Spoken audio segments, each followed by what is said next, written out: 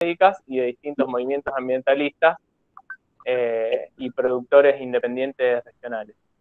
Bueno, entendemos que es importante esta charla de haberla organizado porque como profesionales, nosotros como profesionales y ustedes, los que están del otro lado, muchos que son estudiantes de la electiva, eh, necesitamos más herramientas para discutir eh, este modelo económico y productivo que afecta directamente nuestra salud eh, y la salud de los territorios.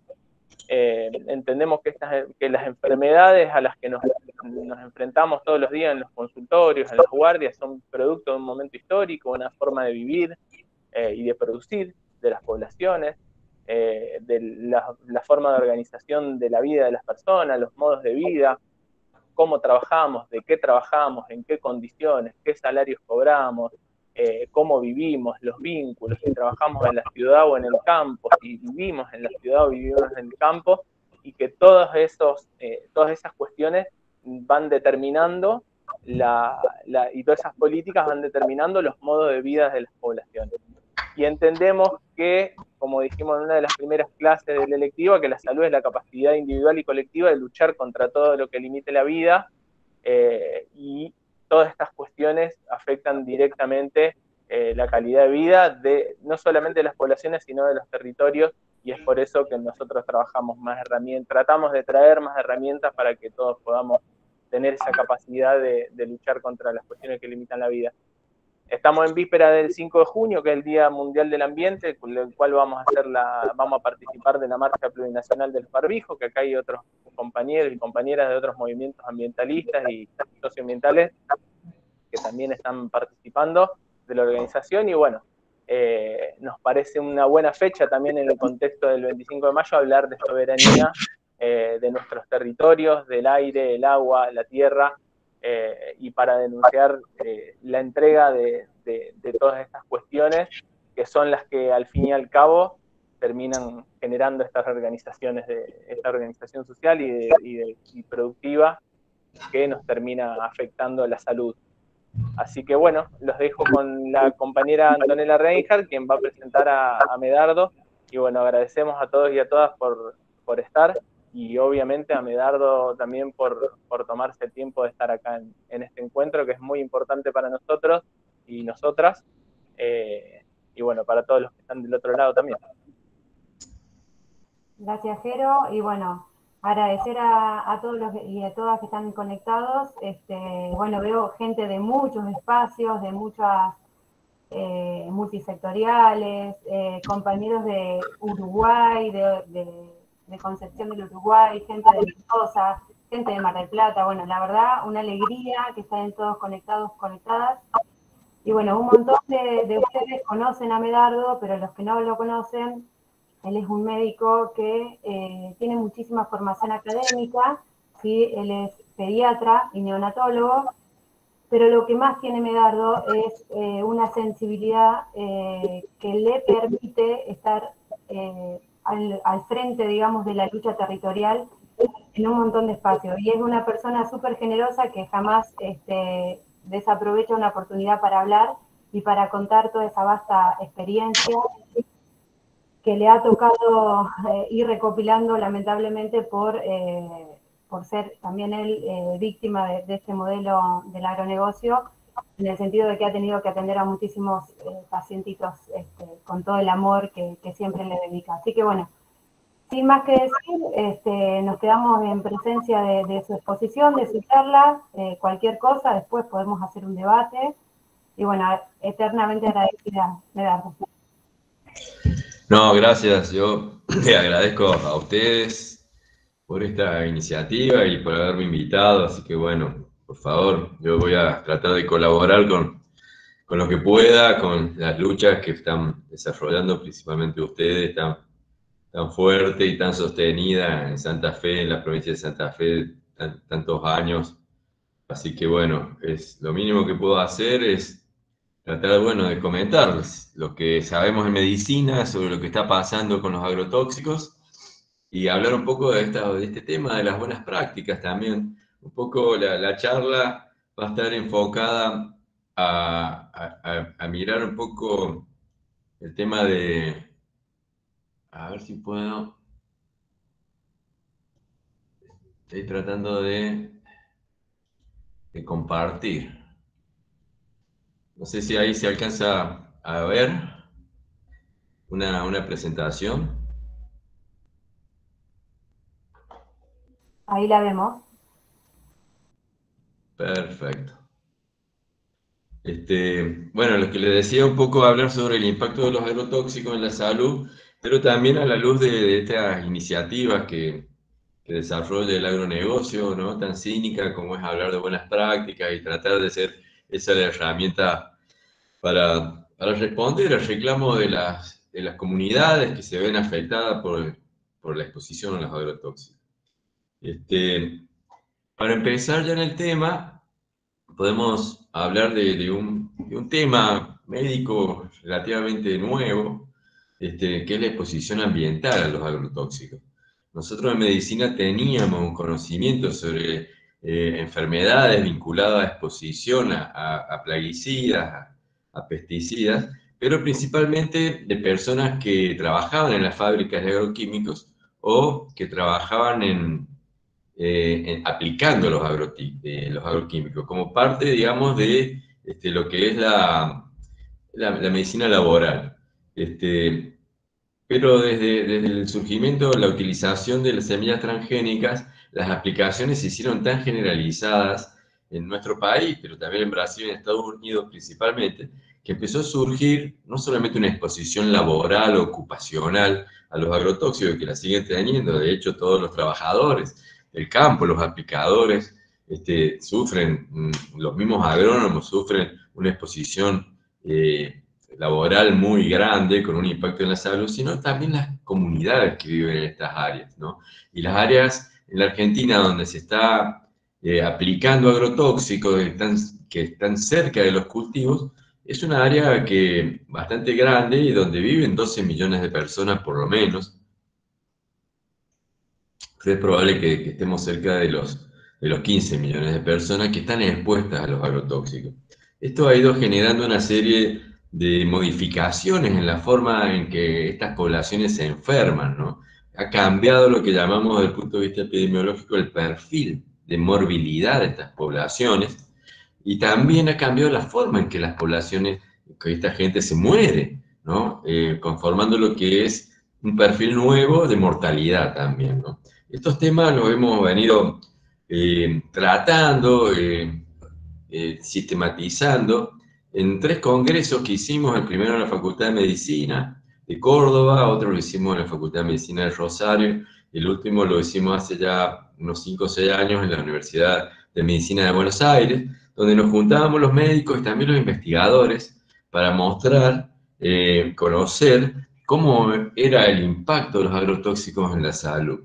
Este, porque hasta, por lo menos hasta el 2010, que hicimos el primer congreso y sacamos el primer informe sobre eh, la situación de los pueblos fumigados, este, prevalecía o la única información que había este, era la información de la industria, ¿no? que más que información científica era básicamente era marketing y propaganda, ¿no? como ser que el glifosato se desactivaba cuando toca el suelo y hoy sabemos que no, que vive, tiene un promedio de pervivencia en el, en el suelo de 60 días, este, que podías tomar un vaso de, de y que no te pasaba nada, y hoy sabemos, publicado en paper, que los suicidas que tomaron un vaso de Randap, todos, el 100% de ellos murieron. O sea, una serie de, de, de, de mentiras, de falaces, que buscaban un poco imponer este, el uso de los agrotóxicos. Nosotros hemos ido identificando, como ser en, en, las enfermedades que se han aumentado notablemente, este, algunas, voy a hablar de algunas, las más importantes, pero hay muchas más. Una de ellas son los trastornos vinculados a los problemas de asma. El asma, eh, en la Argentina y en el mundo hay un programa, un programa este, que hace un seguimiento eh, de la carga de asma que tienen los distintos países, y ese programa había medido la cantidad de niños que tienen asma en la Argentina, y sabíamos que el 13% de los niños que están en primer año del secundario, o el 14% de los niños que están en primer grado del primario, usaban broncodilatadores porque tenían sibilancia de obstrucción respiratoria. Este estudio se hizo en Buenos Aires, en Rosario, en Córdoba, en Bahía Blanca. Y cuando nosotros medimos con las mismas preguntas que hace eh, la evaluación de este programa global sobre asma, si usaban broncodilatadores los niños, nos encontramos, como sea el Monte Maíz, que más del 50% de los niños de primer grado usaban broncodilatadores, ¿no? Y el 40% de los chicos de, primer año, ¿no? O sea, de 13 y 14 años, o sea, era tres veces más, y también pudimos detectar como ser en la cascarilla de maíz que sale de los hilos y la cascarilla de, de soja, este, cuando la recogimos y la medimos con el doctor Marino en la Universidad de La Plata, encontramos de que esta tenía residuos de pesticidas, principalmente glifosato, y los niños estaban respirando esta, esta cantidad de, de, agrotóxico, y esto explicaba, inclusive nosotros lo publicamos en un, en un paper, en un journal, esta en la última publicación que hicimos, que es del año pasado, ¿no? Cómo este, aumenta el riesgo de asma en estas poblaciones expuestas a glifosato en particular, porque el glifosato era el que más prevalecía en esta zona. Otro de los problemas gravísimos son la cantidad de niños que nacen con malformación. Esto es, es muchísimo. Esto lo habíamos detectado en los congresos de, de médicos de pueblo fumigado, porque los médicos que atendían a estas poblaciones nos decían que tenían hasta un 6% de niños que nacían con malformaciones y que antes, cuando se producía de otra manera, esta situación no pasaba.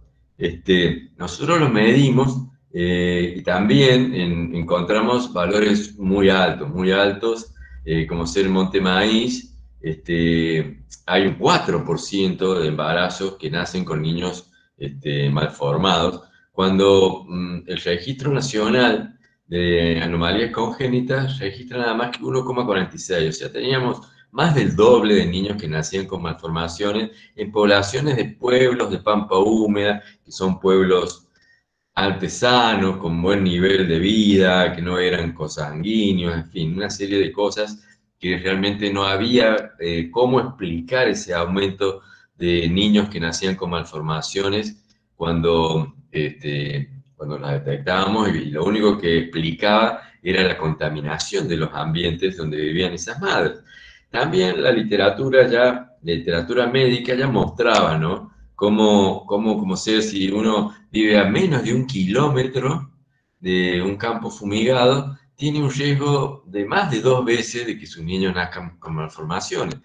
Y peor aún, si guarda los agrotóxicos en su hogar, este, este riesgo se dispara a 15 veces más de riesgo este, de que su niño nazca malformado. Y este es un tema que lo traigo a colación porque quiero hablar no solamente de las fumigaciones alrededor de los pueblos, sino de cómo estos ambientes están contaminados totalmente con agrotóxicos.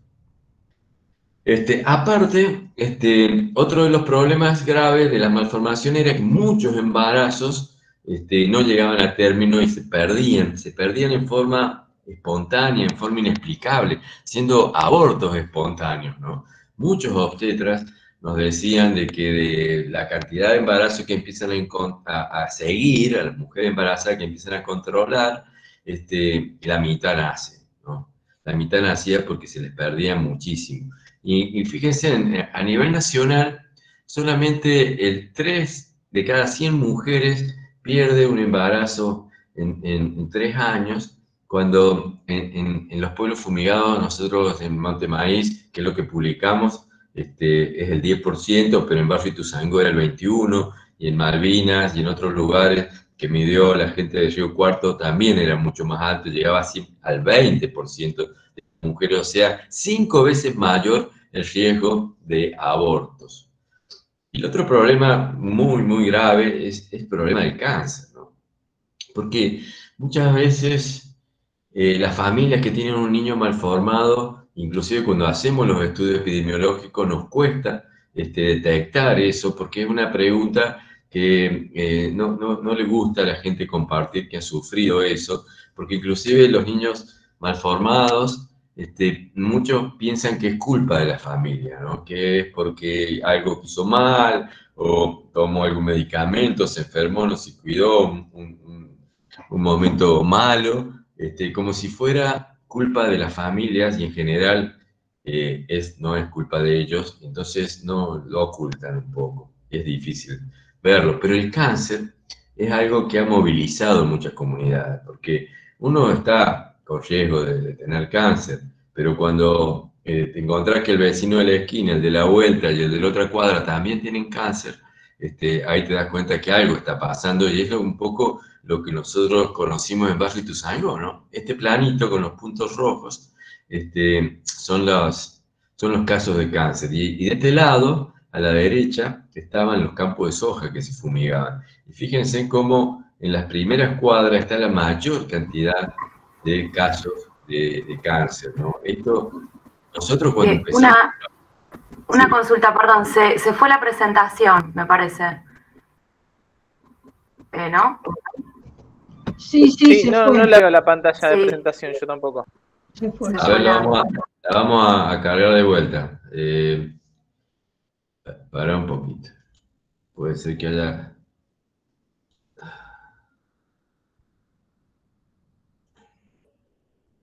Que no se me pierda. Ahí va de vuelta. No, no. Ahí se ve. ¿eh? Ahí Ahora. Ahora sí. Ahí está. Sí, lo que le estaba diciendo, eh, probablemente al mover el cursor y toque algo y se me va. Este, lo que le estaba diciendo es que como en Barrio algo, nosotros empezamos a, nos encontramos con este tema porque yo en ese momento era subsecretario de salud, eh, era el año 2007, y no había mucha información científica sobre, sobre este vínculo, sobre todo exposición ambiental, agrotóxicos y cáncer. Y cuando estudiamos Bafitosango encontramos que lo único que podía explicar esta distribución geográfica era eh, la deriva de los agrotóxicos desde los campos de soja. Y el cáncer es realmente impresionante cómo se dispara en estos pueblos, como ser en el caso de Monte Maíz, que nosotros estudiamos y publicamos, este, eh, tendríamos que haber, en el momento en que hicimos relevamiento casa por casa de este pueblo, tendríamos que haber encontrado 13 enfermos de cáncer que hubieran tenido diagnóstico ese año y encontramos 35, ¿no? O sea, encontramos 24 personas más que tenían diagnóstico de cáncer, que eso no era esperable.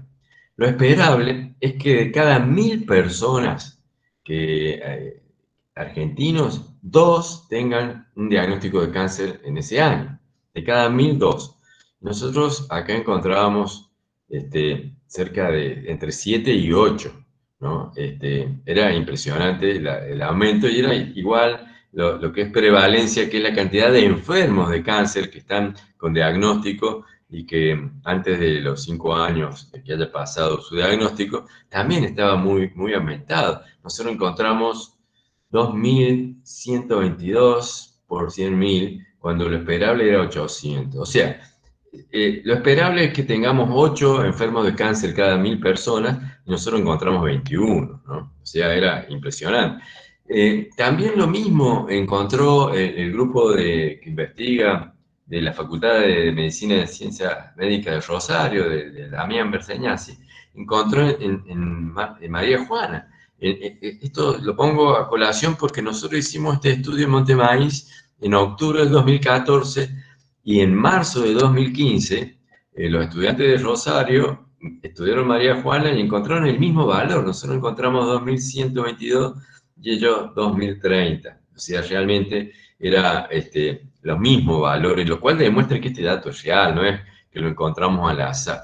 El otro, otro tema muy fuerte es que nosotros pudimos eh, hacer en el pueblo, mm, determinar dónde estaban los depósitos de agrotóxicos dentro del pueblo encontramos que vivir cerca de los lugares donde estaban los depósitos agrotóxicos generaba más del doble de riesgo que de tener cáncer y se concentraban los casos ahí alrededor. Y el otro dato, que nosotros medimos eh, 5.000 personas en Monte Maíz, de los cuales había casi 1.980 que formaban parte de familias vinculadas al trabajo agrícola, ¿no? Eran los dueños de los campos, los productores, los agrónomos, los trabajadores eh, rurales.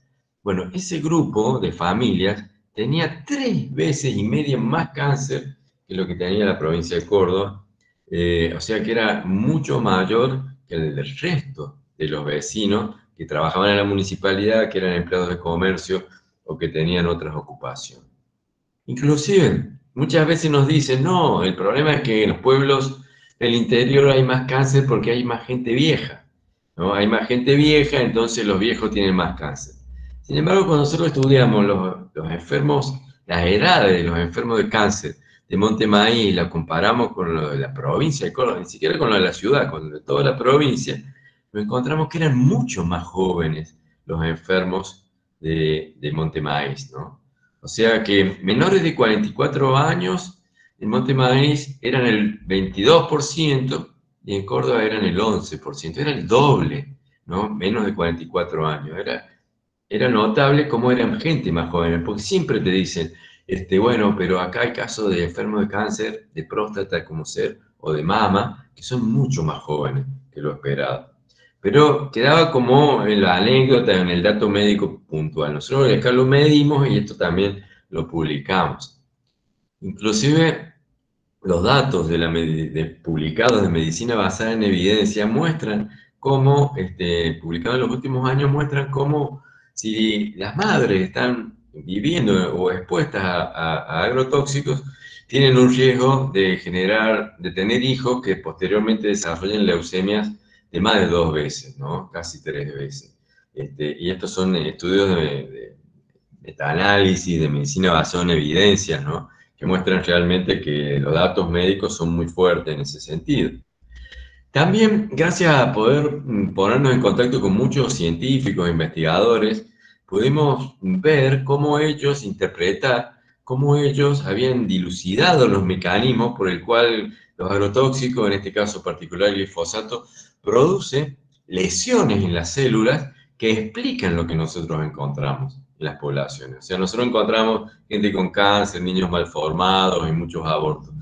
Y, y encontramos un ambiente cargado de agrotóxicos. Pero ¿cómo podemos explicarlo? Bueno, hoy sabemos, porque esto ya se publicó y, está totalmente reconocido hasta por la OMS, que el glifosato y otros agrotóxicos como si rompen las cadenas de, ADN. El ADN es eh, donde está la información genética en el núcleo de las células y esta mm, hace que funcione la célula como tiene que funcionar y con lo cual funciona todo nuestro organismo. En base a esa información contenida acá en las cadenas de ADN, el glifosato rompe las cadenas de ADN, las disgrega, las parte, y entonces se presenta mm, que podemos encontrar eh, haciendo análisis a, la, población que vive en las zonas agrícolas, podemos encontrar indicadores de esa ruptura de ADN en las células, como cromosomas que son anómalas, o pedazos del núcleo que están fuera del, del, núcleo, sino que son pedazos de ADN que están fuera, lo que se llama micronúcleos, o estos estudios que se hacen con linfocitos que sacamos de la sangre del codo, y que se ve que el, el, ADN del interior del linfocito está roto, entonces migra en el ensayo cometa como un cometa, porque las cadenas, las moléculas están rotas y tendríamos que verlo como una sola luna y lo vemos como algo que está realmente estropeado. Esto genera una situación que al organismo, a nuestro cuerpo, le genera tres posibilidades. Una es reparar el ADN roto. Nosotros podemos, sufrimos naturalmente muchas rupturas de ADN, pero tenemos mecanismos para repararlo y así lo reparamos y seguimos. Y esto pasa en muchísima gente de la zona este, expuesta a agrotóxicos.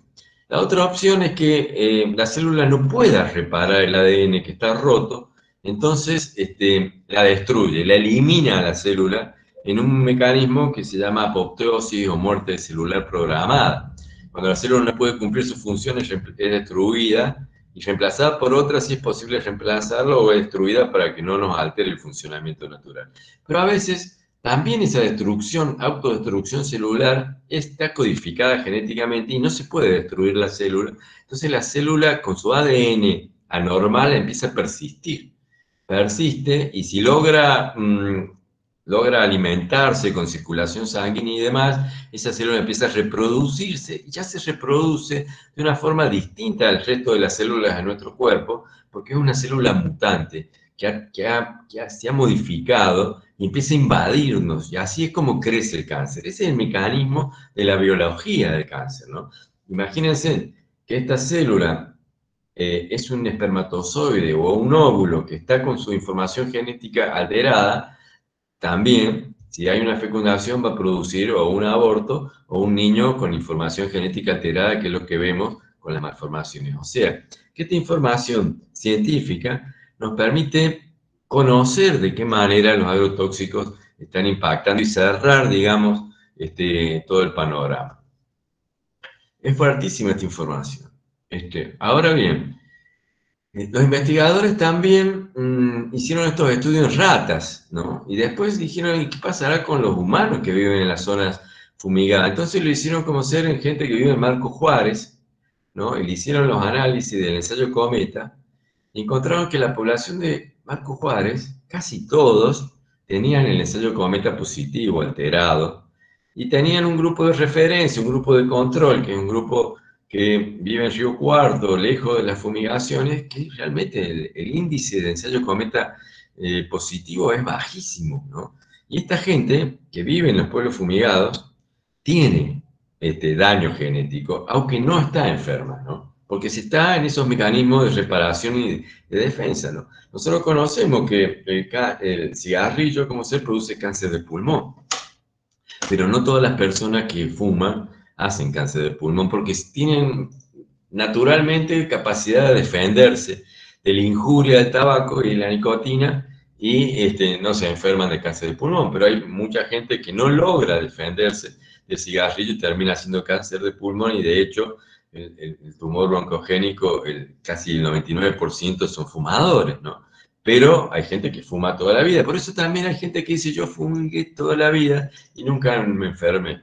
Qué suerte, señor, pero no todos los que están expuestos con sus agrotóxicos, con sus fumigaciones, le va a pasar lo mismo. Este, estos trabajos también se hicieron con niños, y se fue publicado en la revista de, las, de la Sociedad Argentina de Pediatría, a los chicos no les sacaron sangre, sino solamente les rasparon este, la mucosa de la boca y encontraron que había micronúcleos, ¿no? Y, había micronúcleos este, muy, muy altos, ¿no? En Marco Juárez, comparado con Carlos Paz, con, con Río Cuarto, el, índice de daño genético era el 58% más alto, ¿no? Estos estudios los hemos hecho también en niños de escuelas fumigadas, ¿no? Esta es en la escuela de, la, de Dique Chico, ¿no? Un pueblito cerca de Córdoba, donde la escuela está desgraciadamente acá, donde la maestra, la directora tiene un cáncer de mama, el hijo de la directora que iba a esta misma escuela murió de una leucemia hace varios años, y bueno, se hizo el estudio a, muchos chicos de la escuela y encontró que todos, todos, el 100% de los chicos acá tenían este, micronúcleos, o sea que estaban en riesgo de desarrollar enfermedades graves. Ahí tenemos un conflicto que lo vamos perdiendo porque lograron que la policía, como ven en esta foto, proteja las fumigaciones. Cuando van a fumigar los ojeros en esta zona, viene la policía, arma un cordón para que los vecinos no paren los. Cosas increíbles pasan en este país. Otro dato muy fuerte es que se publicó en el 2019 es que el autismo, ¿no? Esto se publicó en, el British Medical Journal, este, el autismo también está vinculado a que las madres o los niños muy chiquitos estén expuestos a glifosato y clorpirifos. Glifosato, estos son estudios hechos en Estados Unidos, muy grandes, eran 3.000 niños autistas comparados con 30.000 niños no autistas, y se hizo un estudio de casos viendo cuáles serían los factores que se repetían en los niños autistas y que no se repetían en los niños no autistas, y se encontró que los niños autistas vivían en zonas fumigadas. Es increíble, eso es muy duro, nosotros no, no lo hemos medido, pero siempre nos han contado las maestras que tenían esos problemas de autismo y sus distintos grados, ¿no? problemas de aprendizaje eh, menores a problemas graves como el autismo. Pero eh, también se publicó de un grupo de investigación de, la Universidad de Rosario, de la doctora Rosso, este, este estudio muy fuerte que ellos trabajan con, neuronas, las neuronas son las células de nuestro cerebro, que las, las, neuronas se reproducen y empiezan a hacer ramificaciones, esas ramificaciones son las que nos permiten a nosotros tener todas nuestras capacidades mentales. Nosotros tenemos cerca de 100 millones de neuronas, pero lo más importante es que estén interconectadas entre sí. Esta es una neurona común, eh, normal y esta es una neurona expuesta a glifosato. O sea, nosotros teníamos los datos epidemiológicos que los niños expuestos a estas sustancias sufren autismo trastorno del desarrollo intelectual y tenemos los datos de experimentos de laboratorio que muestran que estas sustancias que están fumigando este, generan mm, el daño básico que explica los problemas de autismo. Realmente terrible. Todas estas cuestiones este, me hacen acordar a, esto que nos decía el doctor Escrimín. Eh, el doctor Oscar Escrimín eh, fue decano en la Facultad de Rosario hasta la dictadura que se tuvo que exiliar y terminó trabajando en la Universidad de California en Los Ángeles, siendo profesor de fisiología. Y él nos decía que eh, es, es, imposible que podamos vivir sanos en un ambiente donde matamos las plantas con químicos, porque el 40% de los genes de las plantas están en el genoma humano. O sea, nosotros compartimos mecanismos de funcionamiento de las células que compartimos con los vegetales, con las plantas, y con una mosca hasta un 60% y con una rata hasta un 85%. O sea que realmente este, no, la vida tiene un solo modelo de desarrollo, un, solo plan de, expansión en la, en la Tierra, este, y creer que nosotros podemos matar con, con, con sustancias químicas a, otros seres vivos y a los humanos no nos va a pasar nada, es realmente una locura que solamente al capitalismo se le podría ocurrir. Entonces, este, podemos hacer buenas prácticas agrícolas en la Argentina, o sea, podemos utilizar agrotóxicos eh, masivamente en nuestros territorios y estos agrotóxicos no van a afectar a las personas? Esta es una de, de, los, de las preguntas que nos hacemos hoy. Y, para contestarla tenemos que ver que los agrotóxicos en la Argentina han aumentado increíblemente, ¿no? Eh, eh, han aumentado de 100 millones de, de, litros que se aplicaban en el año 96 a, a 600 millones de litros que se están aplicando ahora en 2021-2022. O sea, es, es, impresionante la cantidad de agrotóxicos que ha aumentado. Entonces, este, ¿se podrá hacer buenas prácticas utilizando tanta cantidad de agrotóxicos? Este, cuando vemos estos datos, como ser cuántos agrotóxicos por persona usamos en la Argentina, ¿no? nosotros estamos usando, según los últimos cálculos, cerca de 12 litros por cada argentino. ¿no? Son los agrotóxicos que se aplican en nuestro país, pero por supuesto no, no va a ser lo mismo eh, los que van a recibir la gente que vive en Buenos Aires, en las grandes ciudades, en Córdoba, en Rosario, o en el norte, o en la Patagonia, que los que viven en las zonas agrícolas. Ahí va a ser diferente. Y fíjense, nosotros lo medimos y esto ustedes lo pueden hacer. Eh, y, les recomiendo que lo hagan porque es un dato simple de conseguir. ¿no? ¿Cómo ser? El Monte Maíz, que nosotros estudiamos con detenimiento, porque es el, lugar donde mejor pudimos trabajar. Eh, Monte Maíz, que está en esta zona, es un pueblo muy rico, muy productivo. El, intendente eh, es pediatra y está enfermo de cáncer. El médico del hospital este, murió, el director murió de cáncer. El cura de la iglesia había muerto de leucemia hacía dos años. Entonces ellos nos llamaron y nos dijeron que eh, investigáramos qué estábamos pasando, qué estaba pasando. Entonces pudimos hacer un trabajo muy, muy, muy detallado. Pudimos hacer un estudio ambiental ¿no? y un estudio este, epidemiológico eh, de, relevamiento casa por casa para ver cuáles eran los problemas de salud y con el estudio ambiental saber qué era lo que estaba contaminando este, este, este lugar. ¿no? Y Montemaíz no es diferente a muchísimos de los pueblos agrícolas, es idéntico. A María Juana o a cualquier pueblo de Santa Fe o de la provincia de Buenos Aires o de Entre Ríos. Este, y el interior, este es el exterior, ¿no? Este, este, este panorama alrededor de, territorios este, totalmente trabajados y alterados, y el interior es, este, ¿no? Es estos mosquitos que van y vienen todo el tiempo y depósitos de agrotóxicos que hay por todos lados. Nosotros eh, teníamos un equipo de estudiantes de geografía y geógrafos, mientras los médicos hacíamos el, censo médico, ellos eh, recorrían el pueblo y hablaban con la gente. Y así encontramos, fíjense, en todos estos galponcitos que hay acá, son depósitos de agrotóxicos. ¿no? Son estos lugares donde, mm, algunos muchísimo más grandes, donde se guardan los agrotóxicos, donde se guardan los mosquitos. Esta línea de punta es por donde circulaban los mosquitos para ir y venir de los depósitos agrotóxicos donde los cargaban hacia el campo. Entonces, eh, la primera dato es que el intendente tenía registrado cuatro depósitos agrotóxicos y nosotros encontramos 22. O sea, había una cantidad de depósitos agrotóxicos impresionante por todos lados. Entonces, también sabíamos que la zona agrícola de Monte Maíz forma más o menos 60.000 hectáreas. Y también lo mismo pasa en los partidos de Buenos Aires, que cada pueblo trabaja más o menos entre 60, 100.000 hectáreas, 50.000 hectáreas. Es ahí donde están, este, eh, es la zona de influencia productiva, ¿no? Y, y, estos, estos depósitos también tienen una explicación. Ya no están los productores viviendo con su familia en el campo ya no hay nadie en el campo, ¿no? Las taperas del campo han sido totalmente destruidas y, aradas y están acá. Estas son las familias de los productores que tienen atrás de su casa o en el terreno al lado los depósitos y la maquinaria, ¿no? Entonces, los agrotóxicos están adentro del pueblo. Entonces, nosotros sabíamos que son 60.000 hectáreas, como ser de soja, 45.000, que habían explotado en los últimos años, y hablando con los productores, no de datos que sacamos del INTA, de nada, con los agrónomos y con los productores nos contaban. Nosotros, ellos aplicaban 15 litros por hectárea por año.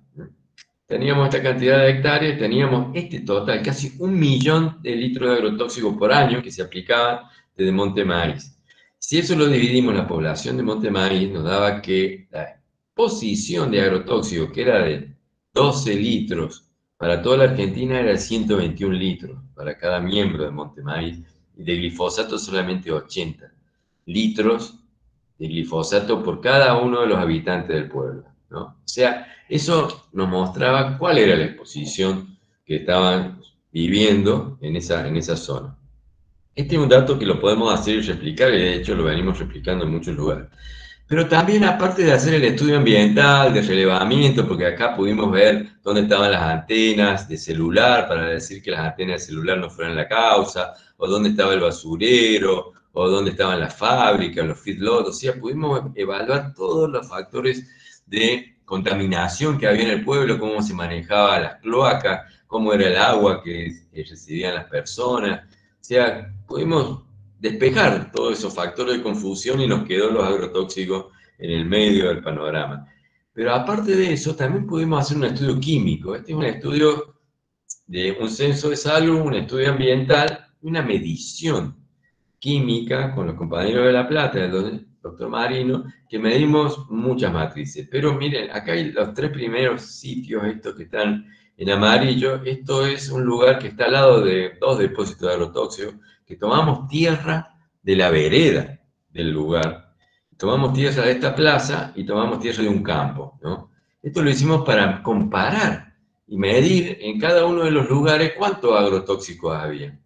Y el lugar que estaba más contaminado con agrotóxico era la vereda de la casa de los depósitos de agrotóxico. Acá, en la vereda, había 3.800 microgramos por kilo de tierra, cuando en el campo de maíz que fuimos a medir había 41.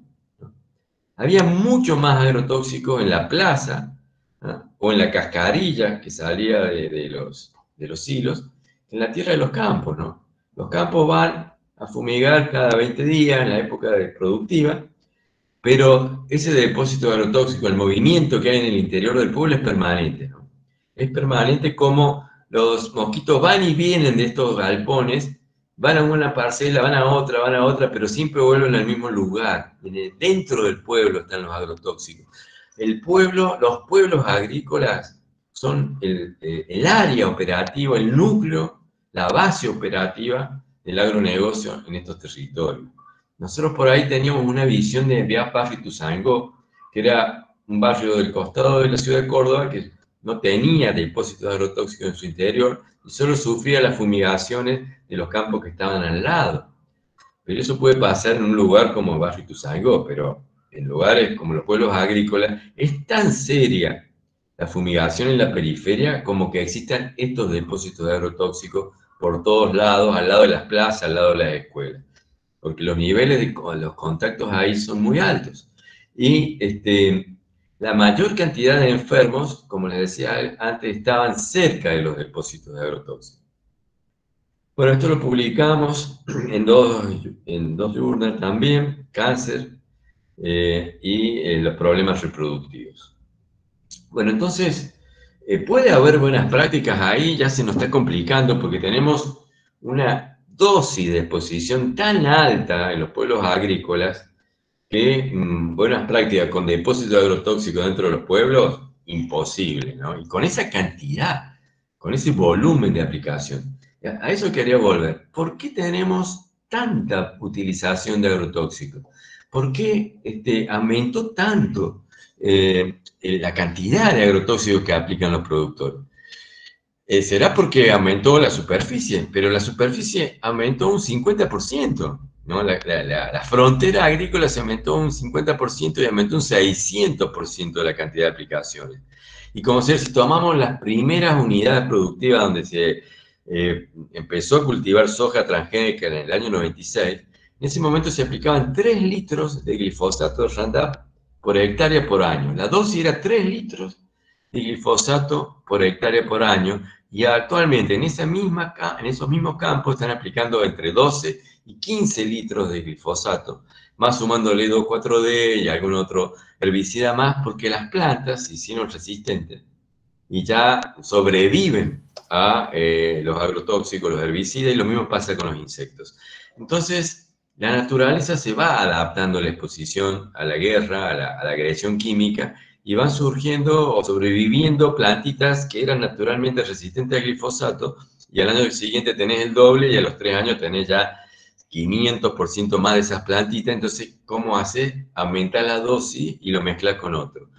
Un gran negocio para la industria química. La industria química tiene atrapados a los productores porque son drogodependientes, como dice algunos agrónomos, eh, lo tienen atrapado en un sistema que cada vez consume más, cada vez en su campo tiene que producir, aplicar más agrotóxicos para lograr los mismos resultados. ¿no? Eso este, hace que las buenas prácticas sean absolutamente imposibles desde ese punto de vista. El otro tema son las, las fumigaciones aéreas. El 30% de las aplicaciones son aéreas en, la Argentina, en Pampa Húmeda. De hecho, nosotros eh, prohibimos las fumigaciones aéreas en la ciudad de Córdoba y en febrero eh, del año 2008 este, fumigaron con avión a pesar de que estaba prohibido, porque el campo que estaba pegado a Barrio Ituzaingó, que tenía una producción que en ese momento valía 500 mil dólares, este, estaba, había llovido mucho, estaba lleno de barro, había muchos bichos, muchos, muchos insectos. Entonces, los, los productores cuando se levantaron las nubes mandaron a fumigar y ahí fue cuando nosotros hicimos las denuncias y terminamos este, haciendo que, fueran presos y empezar un juicio que los condenó por, por, fumigar en este sector de la ciudad de Córdoba. Las fumigaciones aéreas son incontrolables, sus gotas son mucho más pequeñas y la deriva del químico termina en cualquier lugar. O sea, eh, es, es, realmente increíble que se esté utilizando aviones para aplicar. Fíjense, esto pasó en, en Uruguay, ¿no? En el año 2009 salió en el diario La República, pasó un avión fumigando y las vacas murieron. O sea, se equivocaron con la dosis de dilución del endosulfán y por suerte no había ninguna persona y murieron todas las vacas, ¿no? 50 terneros. O sea, estos son riesgos que pasan. Y como los europeos saben que estos riesgos pasan y es inadmisible fumigar con avión, está la resolución, y acá se la pongo en la imagen para que no le digan otra cosa, esto es una resolución oficial de la Unión Europea que dice que los Estados miembros garantizarán la prohibición de las pulverizaciones aéreas. O sea, en, en, Europa está prohibido fumigar con avión o con helicóptero, que los bosques y los cultivos de madera los fumigaban con helicópteros. Esto es un esquema de, de, las distintas derivas y cómo, cómo se mueve el agrotóxico cuando uno lo aplica, ¿no? Sabemos por los datos de los agrónomos que han publicado en journals agronómicos que menos del 20, el 15, el 10% de lo que se aplica queda en el campo y que llega a la planta. El resto se va en la, escorrentía, se va en la volatilización, en la lixiviación. O sea que realmente este, ellos están aplicando una cantidad que saben que a la plantita le va a llegar un 5, un 10%. ¿no? El resto es contaminación para todos y todas. Este, hay un, acá les, puse este link, eh, eh, pueden buscar en Google generación de deriva de plaguicidas, que es un informe de, un ingeniero químico, amigo nuestro, eh, Tomasoni, que es, brillante y explica realmente cómo las derivas de los agrotóxicos en las aplicaciones son incontrolables, ¿no? Son incontrolables. O sea, vos la deriva primaria, que es la que se genera en el momento de la aplicación, es incontrolable. Y después tenemos una deriva secundaria eh, que se da entre el primer y segundo día, en que se vuelve a, evaporizar lo que se aplicó y se mueve horizontalmente, y después una, una deriva terciaria. O sea que con, normalmente, si la, la fumigación y las aplicaciones son incontrolables, imagínense con las dosis con las que estamos haciendo las aplicaciones. En el barrio Tuzango, que nosotros, estos son temas, este es parte del expediente, del juicio de Barrio Sango. Este es un estudio que hicieron de la Facultad de Ciencias Exactas eh, para glifosato. Las aplicaciones eran acá y según el modelo, de, según la presión de vapor, los vientos de los últimos 10 años en esta zona de la ciudad, la distribución de los agrotóxicos era esta y coincidía con la cantidad de enfermos, mayor cantidad de enfermos que teníamos en ese sector. Y después esto ya es el último dato para decir que las buenas prácticas eh, no existen, y es que nosotros tomamos agua con un grupo de médicos de los, pueblos fumigados de nuestra red, tomamos agua de lluvia en el mes de octubre, noviembre, diciembre, enero y febrero.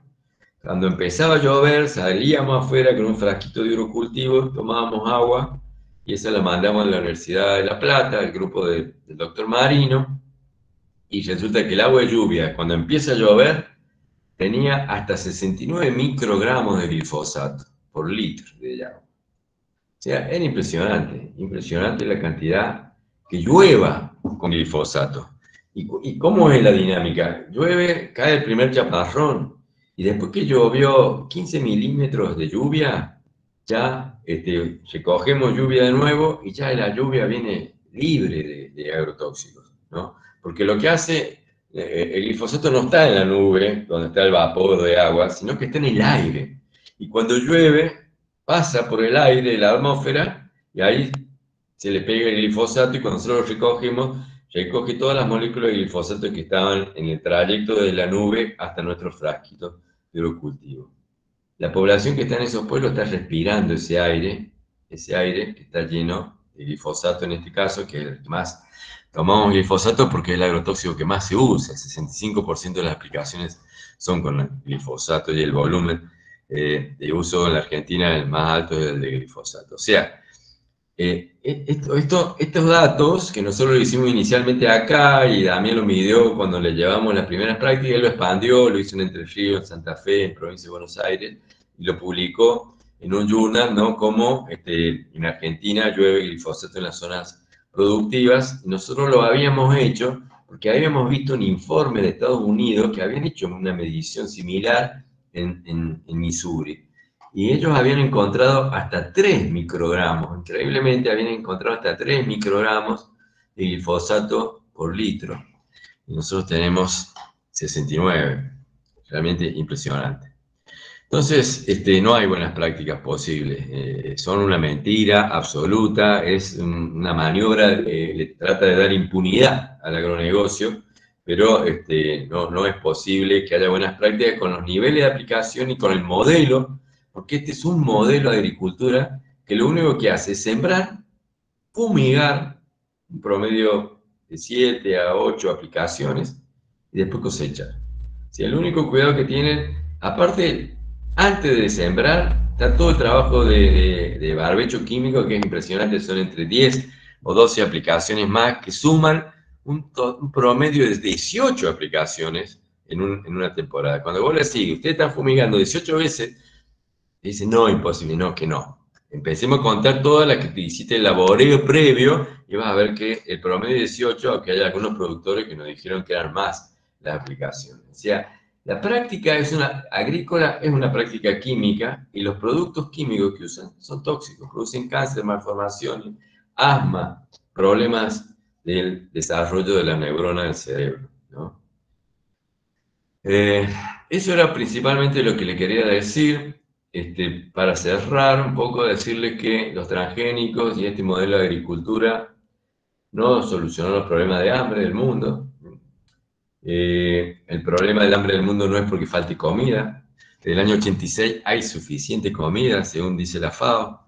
Nada más que no llega a todos los que la necesitan, porque la comida se, se distribuye por el mercado. El que no puede pagar no come, no como un derecho y el problema del capitalismo y no es que falte alimentos, ¿no? Que nosotros mm, estemos fumigando y exponiendo a nuestra familia y a los vecinos los agrotóxicos, no es porque estamos alimentando al mundo. Por favor, no vengan con esa mentira, ese cinismo, porque es, esto no es para alimentar al mundo, esto es un negocio y lo hacen por dinero.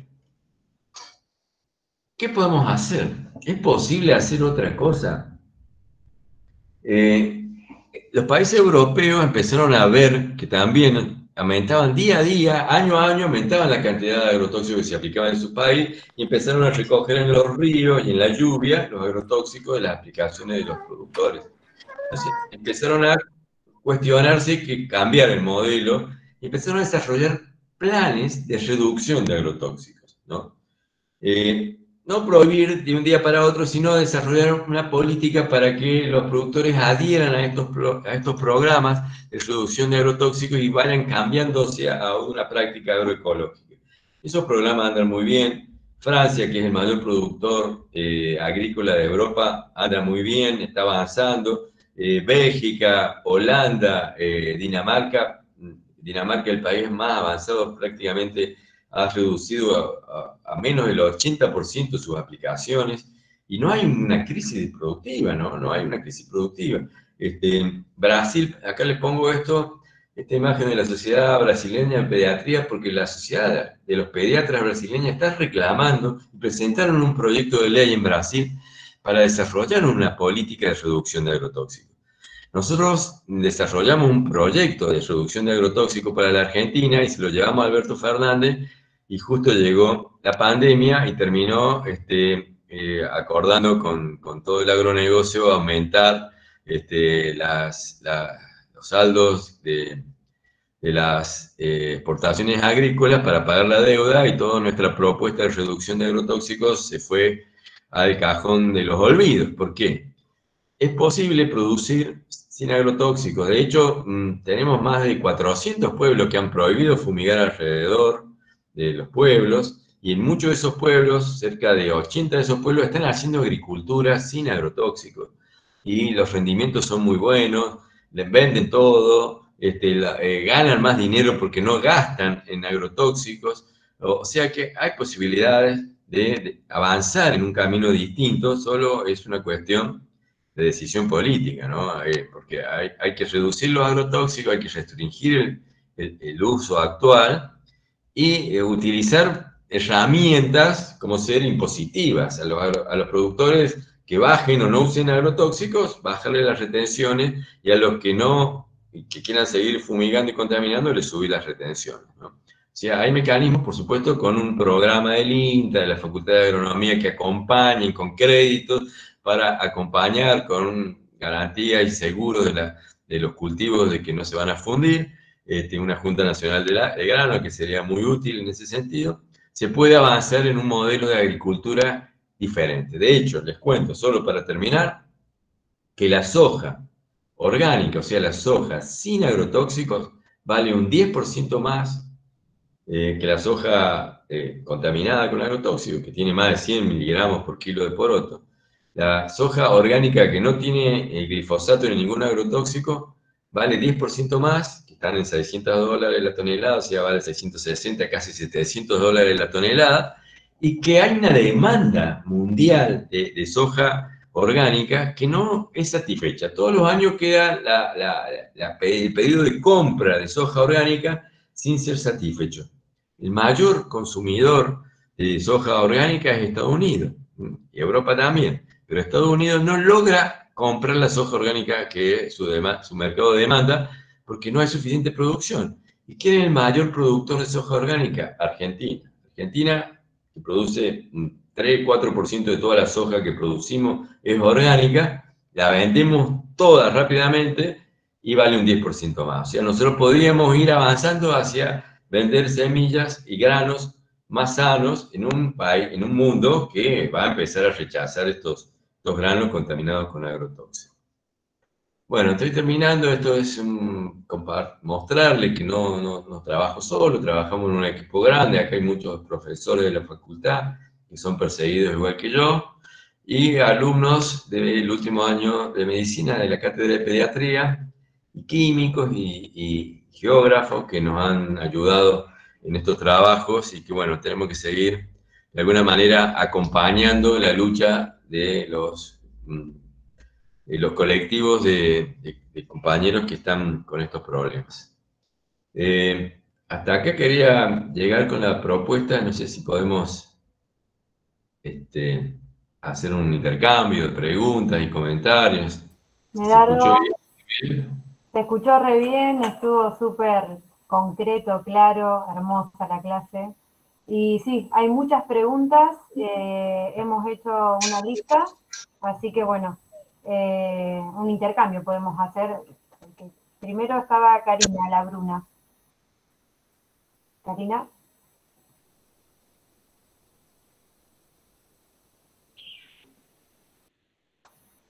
Karina, ¿andás por ahí? Después tenía, ahora voy a buscar una pregunta este, que habían dejado en el chat y también quería hablar este señor de la escuela secundaria.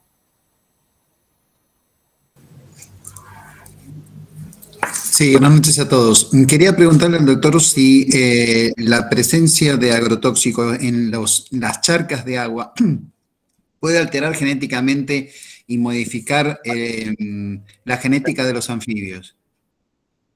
Sí, sí, eso está, está probado, está publicado por varios grupos de científicos argentinos que encontraron eso, cómo se alteró. Aparte vos viste cómo disminuyó la cantidad de anfibios, impresionante, de insectos y de anfibios, y lo que tenemos ahora son mosquitos aedes, ¿no? Eh, adentro de los pueblos y de las ciudades, ¿no? Realmente esas son otra de las consecuencias de este modelo eh, con uso masivo de insecticidas, ¿no? los predadores de, mosquitos vectores este, han desaparecido, se han reducido sus poblaciones y realmente en, las charcas se, ve con mucha claridad cuando vos buscas los sapos, las ranas de las charcas, encontrás muchos sapos malformados, desgraciadamente. Muchísimas gracias. Karina, ¿querías preguntar? ¿Te habías levantado? A ver si volvió. Y si no, Marta también quería hacer una... Yo antes, antes de continuar, acuérdense, antes de irse, los que se vayan a desconectar y demás, acuérdense de dejar sus datos, aunque sea algún contacto, algún correo, porque la idea es a partir de esto quedar en contacto, porque hay mucha gente incluso que no es de Rosario, que, es de, que no es de Argentina, eh, así quedamos en contacto desde la electiva, desde la Comisión de Salud y Medio Ambiente de Ciprus, y, y podemos seguir tejiendo redes en esta problemática. Solo eso. Gracias, Jero. Marta.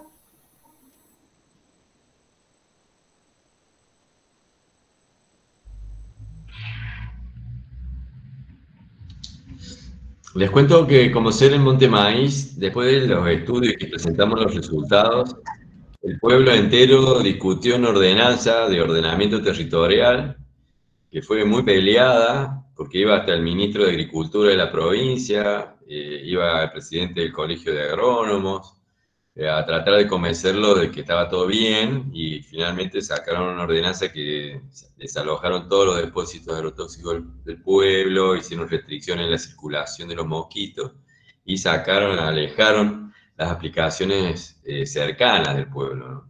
Y vos cuando vas a Montemaíz encontrás otro aire. Nosotros íbamos a trabajar y sentías cuando llegaba ese, ese olor, esa aplicación en los ojos, ¿no? Impresionante.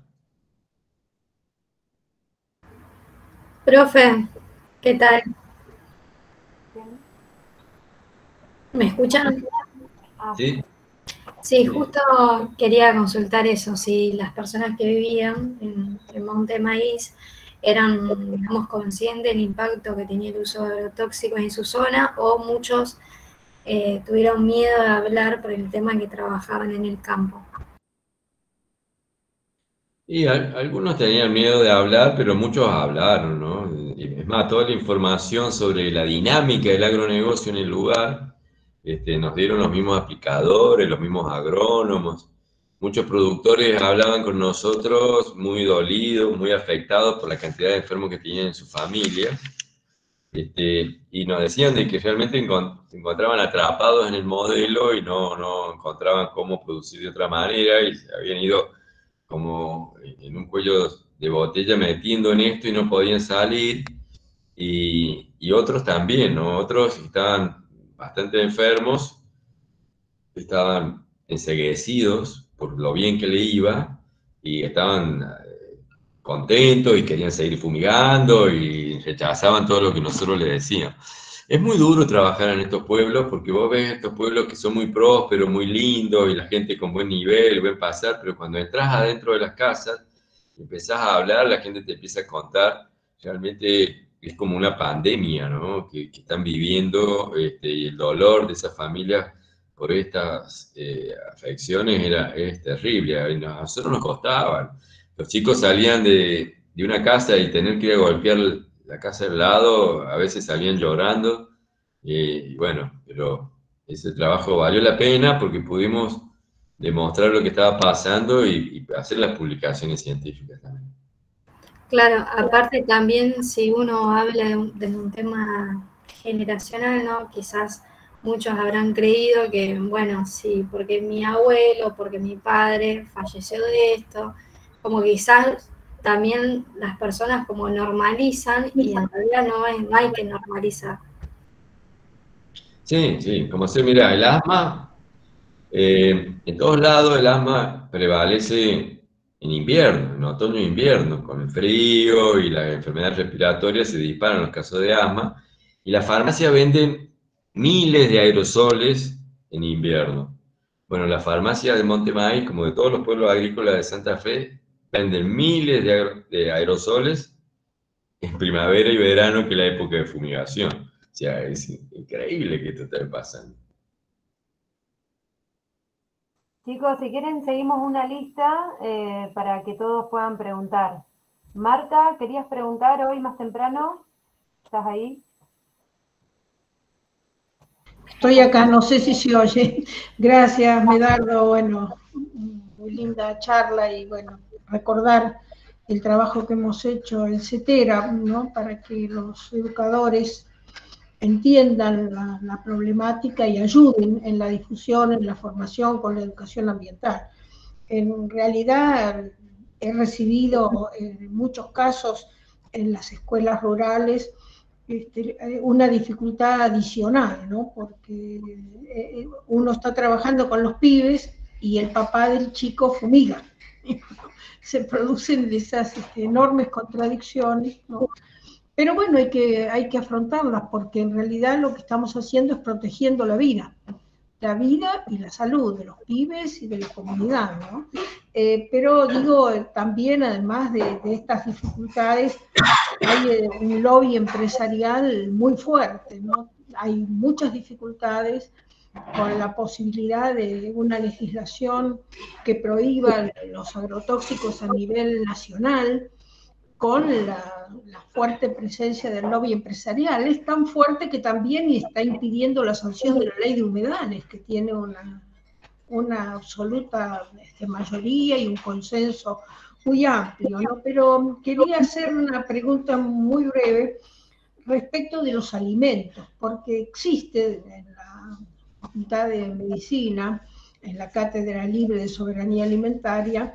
bastante trabajo de investigación respecto de los alimentos contaminados y la posibilidad de que personas que están este, diametralmente alejadas de los espacios de fumigación y de los pueblos con galpones y con mosquitos estén consumiendo agrotóxicos y en el relevamiento que se hizo en el mercado concentrador de frutas y verduras, encontraron el 97% de los alimentos contaminados con distintos este, niveles de, agrotóxicos. Y me preocupa, sobre todo, esta última reciente aprobación del trigo este, HB4, el trigo transgénico. El trigo no es como la soja, el trigo va al pan, a la pizza, a las galletitas, a los fideos, ¿no? Y esta aprobación con un producto que además utiliza fosinato de amonio para, como veneno, este, me parece que es un riesgo ya este, terrible para el conjunto de la población. Y por tanto creo que tenemos que activar mucho el trabajo de la, la toma de conciencia y ayudar a la gente a resistir, ¿no? Porque en verdad, a partir de este involucramiento social y esta toma de conciencia es cuando se pueden generar los cambios y sostener una legislación distinta. Bueno, tenemos alguna experiencia con otras legislaciones que ha pasado así, ¿no? Sí, mira, yo pienso que eh, acá el dato es de que la producción de alimentos agrícolas, de granja y de quintas, de verdura en general y, frutas, eh, también se convirtió en una agricultura tóxica. ¿no? Este, esto que era principalmente la agricultura de, los granos, eh, que usaba masivamente agrotóxicos, bueno, los productores de, otros alimentos, desde el arroz, a la caña de azúcar, hasta el vino, el cuyo, este, se aplican agrotóxicos. Ya no, no te desmalezan un viñedo con una asada, sino que te mandan un operario con una garrafita a, fumigar con glifosato. Y después tener el vino con glifosato, como se midió en California, que los vinos estaban contaminados este, con glifosato. Acá no lo hemos podido hacer porque no tenemos dinero para hacerlo. No tomamos el vino antes. Pero este, también los alimentos, la pera, los tomates, es impresionante. Este, cómo eh, se ha normatizado, o sea, los límites, hay, lo que se llama el límite de residuos máximo que puede tener este, como ser el tomate. el tomate tiene superado ese límite y no tiene solamente uno, tiene siete, ocho pesticidas diferentes, ¿no? Este, la medición que hace el SENASA, que no nos daba esos datos, pero se los tuvimos que sacar eh, con una presentación judicial, este, el SENASA mismo demuestra de que están contaminados los alimentos que se están distribuyendo. Este, ¿Cómo vamos a poder salir de eso? Bueno, un poco, eh, así como el agro masivo es el que llevó a la agricultura de alimentos tóxicos, yo pienso que la misma medida, la lucha esta de los pueblos fumigados, demostrar que son tóxicos, que son venenosos, y que es posible cultivar sin esos tóxicos, eh, va a llevar también a que que se prohíba la utilización de estos productos en alimentos. Es como que tenemos esa locura de creer con veneno podemos producir alimentos. ¿Cómo vamos a producir alimentos con veneno? Algo que, ¿en qué momento se naturalizó eso? Es una locura. Es porque, El productor de tomate está preparando su tomate en el cajón y antes de llevarlo al mercado le echa otro regalo con insecticida para que no vengan las chinches y se lo pican está viendo el cajón de, tomates, ¿cuánto va a cobrar por esa mercancía? Entonces, vamos a la verdulería, vemos los tomates y pensamos en la ensalada que nos vamos a hacer. Entonces hay como una diferencia acá muy, muy grande. Uno es una mercancía y otro es un alimento. Para nosotros es alimento, para él es dinero. Entonces, si el Estado no está en el medio diciendo, escúcheme, no puede ponerle veneno a estos alimentos porque lo va a consumir usted, su hijo y, y la familia, todo el pueblo, este, entonces ¿Quién lo va a hacer? ¿Puede creer que los productores van a dejar de usar veneno si ellos ven el tomate como mercadería exclusivamente? Acá el Estado se tiene que poner y decir, no se puede utilizar veneno y estas sustancias son venenos. Entonces cuando tenemos esa discusión si son agrotóxicos o son fitosanitarios, son protectores de los cultivos, son agrotóxicos. Los datos, los datos de la medicina, ya que son agrotóxicos, no, no, no, no, no hagamos esas tratar de camuflar estos productos cuando no, no es así, son menos. Medardo y a todo este, en relación a esto agrego algo cortito y ahora seguimos con la lista. Nosotros desde la Comisión de Salud Integral y Medio Ambiente de Citrus articulamos con la red de comercio justo del litoral y eh, hicimos una boca de expendio de productos eh, lo más libres, soberanos y sin agrotóxicos en la misma facultad de medicina. Ya tuvimos varias experiencias y bueno, es otra manera de mostrar con un hecho político concreto de que otra manera de consumir es posible y por supuesto mucho más saludable. Así que bueno, se lo dejo como idea de esto de articular con, la, con los productores que, viven desde la agroecología, digamos, y sin maltrato infantil, bueno, con un montón de, de propuesta en cuanto a la soberanía alimentaria. A partir de los mercados locales, ¿no? Mayormente. Totalmente, totalmente. La verdad que no, se están multiplicando en todo el país la, feria y los mercados de, orgánicos. Realmente yo he andado por Salta, como si me encontraba con, compañeros de los mercados orgánicos, ¿no? O sea, realmente hay una conciencia que va creciendo, pero todavía no logramos que, lo, que el Estado, ponga las pilas y empiece a, tomar, a proteger, por lo menos a, promover esta. Yo digo, por lo menos promoverlo. Por lo menos decir, tenemos un problema ambiental más, aparte del cambio climático y muchas otras, y la sequía y los problemas, que es que el agua se contamina y tenemos demasiado agrotóxico, que tenemos que bajar. Leandro, César, querías preguntar. Sí, Buenas tardes, de Galve, de la, de la localidad de Galve. Eh, bueno, agradecer eh, la charla eh, a los organizadores y a, Medardo, ¿no? bueno, yo resalto dos cosas, un poco lo que dijo Marta, del lobby sojero, el poder que tiene, es una lucha bastante desigual, y la otra, la de Medardo, que habla del capitalismo, concretamente con lo que explicaba recién del, que para el productor es una mercadería, para nosotros alimento. ¿no? la pregunta concreta iba eh, dirigida, eh, si después de, de Monte Maíz, después de la, de la intervención, eh, hay planificada o se hizo alguna otra, algún otro testeo, porque recién el doctor explicaba un poco la cuestión esta de que se tomaron algunas medidas después que ellos eh, hicieron el relevamiento. Si de acá a un tiempo está programado hacerse algún otro relevamiento para decir, bueno, las medidas que se tomaron dieron su resultado, no sé si me, alcanzo a explicar. Sí, sí, sí. Sí, mira, en Monte Maíz no. En el caso particular no. Este, no, no tenemos planificado volver a hacer eh, un estudio ahí. De todas maneras, no es que está todo perfecto, sigue ahí un roce cuerpo a cuerpo para hacer cumplir las ordenanzas, ¿no? Que no, si los mosquitos, que no te vuelvan a meter los bidones dentro del pueblo. Hay, hay una pelea que la sociedad civil toma, ¿viste? Escrachar, sacarle fotos, poner en Facebook, hacer comentarios, todo eso sigue. Eh, pero si son efectivas estas medidas, nosotros no lo hicimos, pero sí se hizo en Santa Fe, porque eh, a ver si me, se nos fue Carlos, en San Jorge.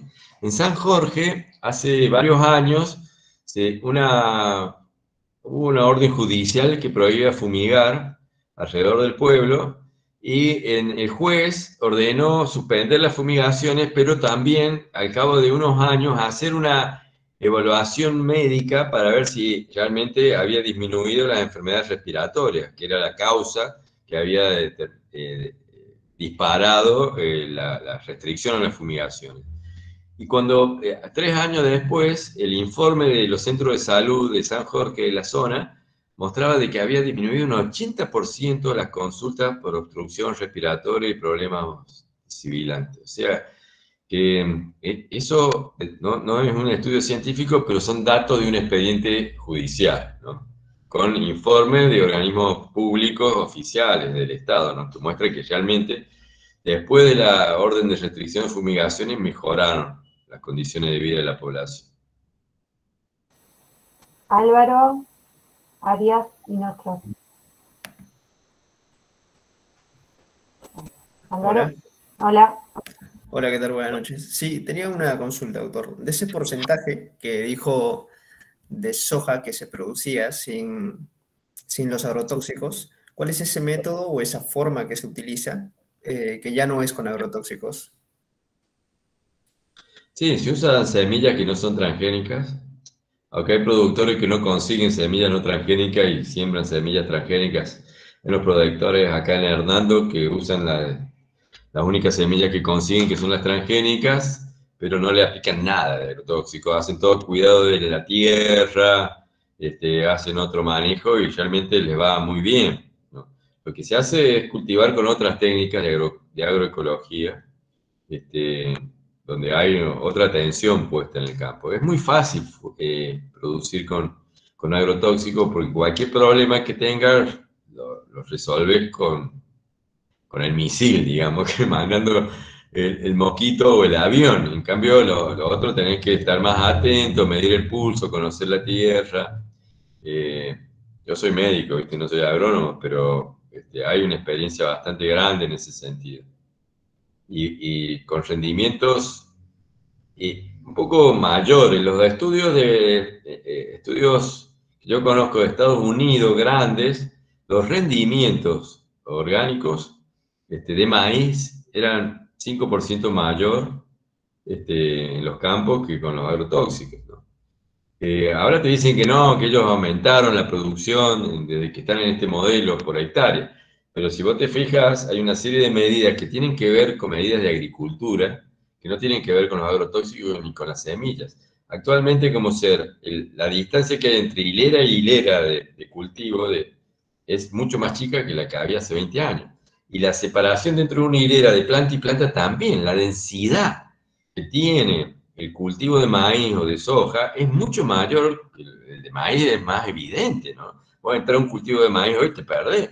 Eh, no era así cuando éramos chicos, ¿no es cierto, Marta? Entonces, estaban más separados, entonces hay más unidades de planta por unidad geométrica, eh, geográfica, entonces la producción por hectárea también es mayor y eso no tiene que ver con un problema de semillas transgénicas ni de agrotóxicos, sino son medidas de, de agricultura, ¿no? Y sobre todo con la mecánica de recolección. Antes metíamos la gente en el surco con la bolsa, ahora viene el tractor y saca todo. Entonces este, no hace falta ese espacio, por eso también se... Pero también me parece que la producción agroecológica es más económica porque el costo de los agrotóxicos es fuerte, incluso el de las semillas transgénicas, ¿no? Por eso hay, bueno, toda una batalla de las, de las compañeras que guardan la semilla y que utilizan la propia semilla y una batalla este, en la que también intervienen las grandes semilleras, ¿no? Para tratar de prohibir que la gente pueda usar su propia semilla. Álvaro, después si querés te podemos comunicar con Martín Montiel, que, bueno, que es un productor agroecológico, para todas estas dudas más técnicas, digamos. Así que bueno, ahí tenemos tu contacto y te, te ubicamos. Edelmira. Gracias. De nada. ¿Me escuchan? Sí, buenas tardes.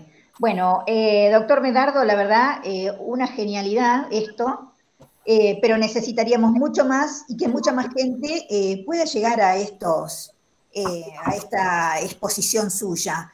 en cuanto a lo que decía con respecto a, las, a comer sin tantos agrotóxicos, nosotros en la ciudad de Rosario tenemos gente que produce sin agrotóxicos, sin venenitos, sin, sin semillas malas, eh, pero ha sido gente que dentro de los lugares de la ciudad donde se podía cultivar en tierras que, son eh, medianamente buenas, eh, fueron armando sus propias chacritas y de ahí vienen a vender al centro de la ciudad.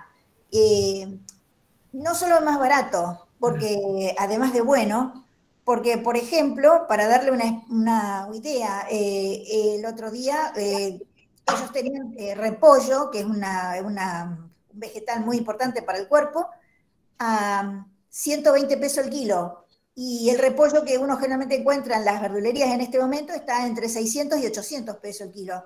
Por lo tanto, eh, creo que, como dice usted, es mucho más barato y además mucho más sano. El cuerpo de los humanos siente la diferencia cuando come es venenoso, que está envenenado, que está cultivado con veneno.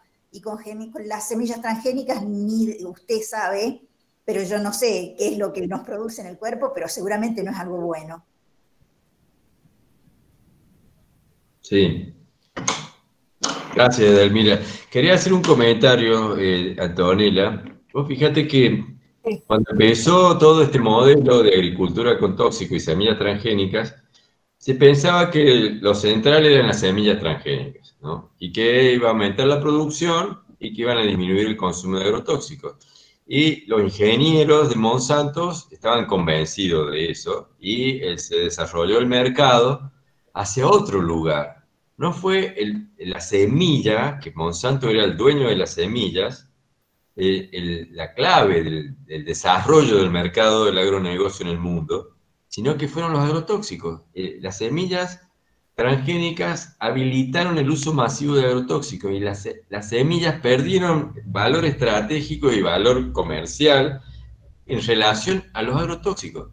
A tal punto, Monsanto, que era el hegemónico del modelo de agricultura, era la empresa que manejaba los gobiernos y demás, terminó siendo comprada por Bayer, que es una empresa de químicos.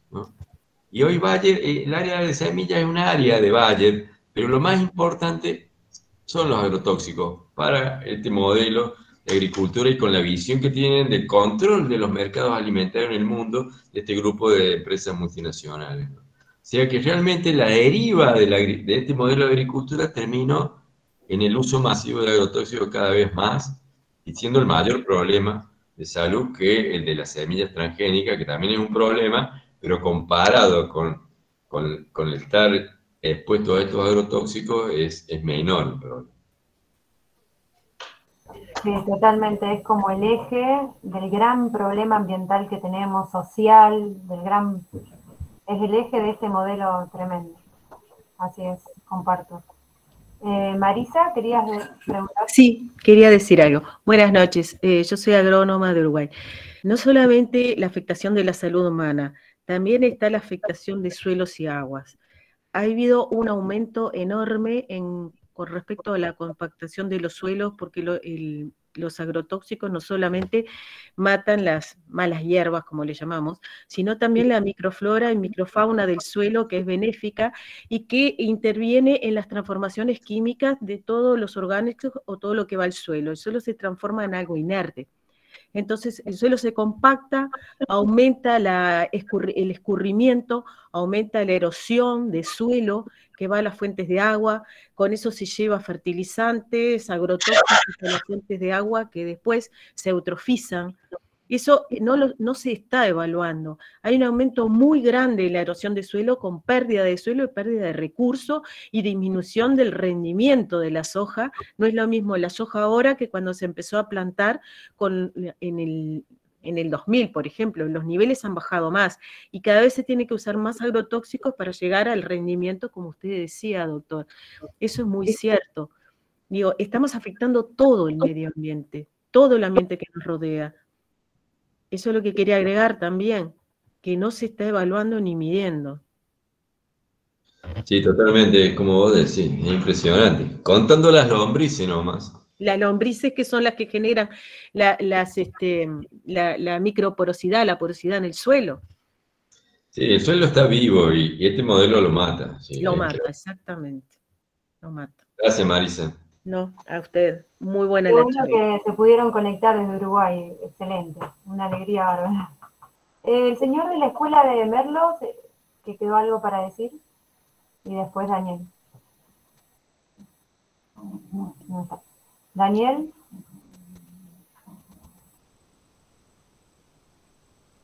Yo también desde Uruguay, eh, complementando lo que decía Marisa, eh, no olvidar que el, glifosato y glufosinato, que es lo otro que se agrega después que el glifosato no da más abasto, son fosforados y con fósforo altamente soluble. Entonces, eh, Medardo decía de que claro, que muy poco queda en la planta porque se va, bueno, ¿se va a dónde? Se va al agua. Por supuesto que se van los ríos. Y aparte de los problemas que implica eh, desde el punto de vista de las cianobacterias y las cianotoxinas que ya generan, eh, multiplican la producción de cianobacterias y hemos tenido eh, un verano donde la floración de cianobacterias llegaron a Punta del Este, ¿no? Este, si nos pasa de vuelta nos funde. Este, por lo tanto, digamos, no es solo la fertilización fosforada, sino que el glifosato y glufosinato, lo tenemos publicado además, cuáles son los volúmenes para la cuenca del Plata, yo soy de Facultad de Ciencias, este, son un elemento fundamental en la eutrofización de las aguas. Y la otra cosa que quería decir es que acá se hizo un ensayo, un estudio, sobre plaguicidas en peces. Se buscaron 32 plaguicidas, se encontraron 27 de los 32 ¿no? en los peces de Uruguay. Gracias. Terrible lo que contás, sí, es así. Gracias, Daniel, eh, por el aporte. Y Martín Menéndez. Hola, ¿qué tal? Buenas noches a todos. Gracias, muy linda la charla, realmente muy interesante.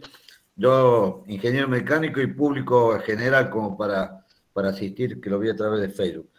Eh, recordando el mundo según Monsanto, que fue un, hace muchos años que lo vi de una periodista francesa.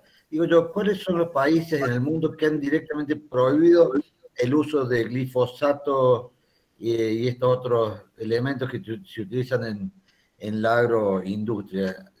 ¿Hay países, hay antecedentes que se haya prohibido de, de cuajo en la no utilización de estos, de estos productos? Creo que en algún momento hiciste un comentario al, al, respecto, pero eh, mi pregunta va más en ese sentido. Gracias. Sí, mira, hay toda una discusión eh, muy grande. Eh, en Europa, como se ve, hay una, hay una prórroga de la autorización del uso de glifosato hasta el año que viene. Este, y ahora están planteando este, prolongarlo porque no han podido hacer los estudios que pensaban hacer por la pandemia. Este, pero este, eh, la prórroga se hizo sobre los informes eh, científicos que había presentado la industria. O sea, no tomaron todos los estudios que tomó eh, la Agencia Internacional del Cáncer de la OMS para decir que el glifosato como ser es cancerígeno. Este, o sea que hay, hay, así una disputa muy grande. No, no conozco yo países que hayan autorizado el glifosato y que después lo hayan prohibido, salvo Colombia. Colombia eh, usaba glifosato para tratar las, eh, fumigaban con aviones militares las este, plantaciones de coca y este, hace unos 6 o 7 años eh, prohibieron el glifosato y dejaron de hacerlo y ahora Iván Duque andaba tratando de rehabilitarlo y todo va a depender de lo que pase en la elección de este domingo. Pero, este, y también las fumigaciones con, con glifosato generaron un conflicto de salud y socioambiental muy grande en Colombia y en Ecuador porque las poblaciones ahí tiraban 20, 25 litros por hectárea, ¿no? O sea, eh, querían quemar realmente la soja, la, coca y había un montón de población campesina en esa zona. Este, y lo que hay es, es, esa disputa y está esta política de reducción de agrotóxicos, ¿no? Eh, Francia se ha planteado eliminar el glifosato por el año que viene. Hay que ver qué pasa, porque con la guerra en Ucrania se han acentuado las posiciones de derecha y más reaccionarias de todos los gobiernos, sobre todo los europeos, y, con los problemas de, de provisión de granos, por ahí están presionando para mantener el uso de glifosato, pero como ser Dinamarca, Bélgica, Holanda estaban muy avanzados en, la reducción de agrotóxicos y pasando a un modelo de agricultura sin agrotóxicos. En Alemania también hay una resistencia muy grande. En los primeros años, 2010, 2012, 2014, los compañeros europeos estaban muy focalizados en el tema de los transgénicos. Y, Andrés Carrasco les insistía con el tema de los agrotóxicos, y ellos, sí, sí, pero no, vamos a los transgénicos, porque creían que el problema eran los transgénicos.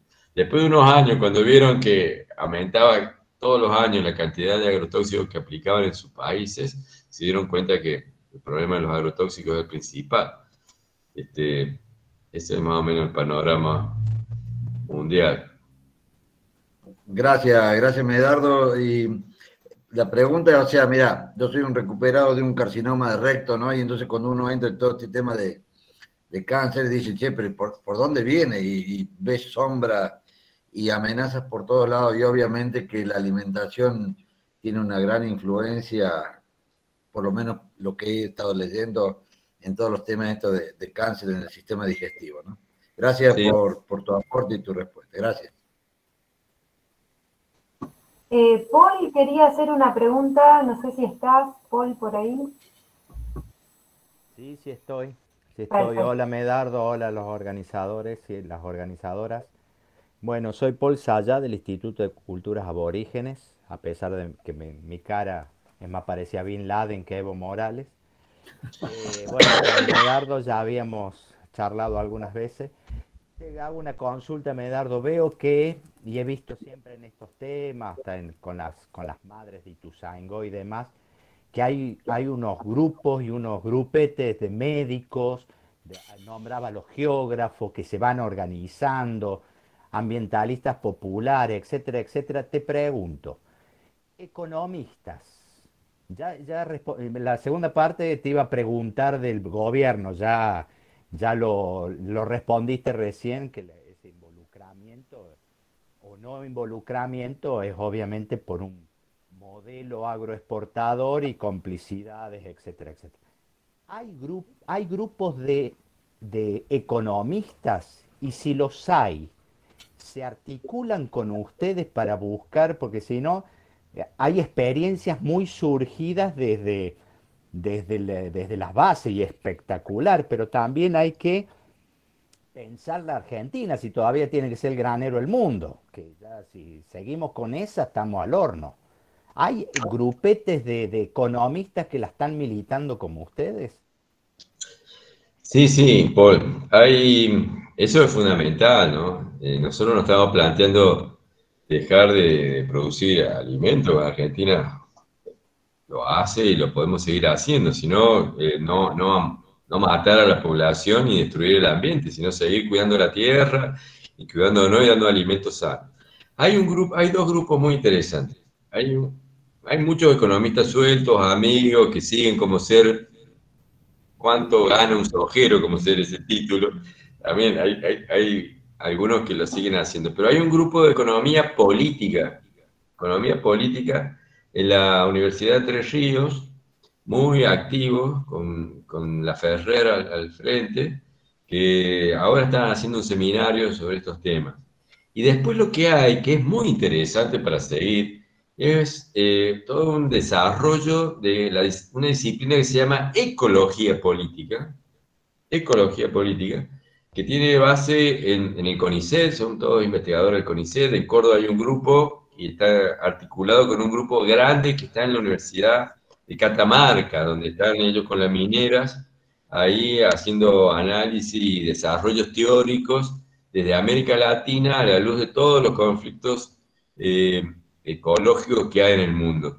A mí me parece realmente muy interesante, te voy a mandar algunos materiales de los compañeros de, del grupo de Ecología Política del Sur, se llama así, y, realmente me parece que en esta época, siglo XXI, la ecología política se está volviendo como la economía política del siglo XIX, esa economía política de Marx y Engels, este, que analizaba el capitalismo este, a la luz de su sistema productivo. Hoy, con la crisis ecológica que tenemos, el, tema es cómo eh, tenemos una mirada ecológica en la disputa. Economía ecológica, lo que hace ecología política.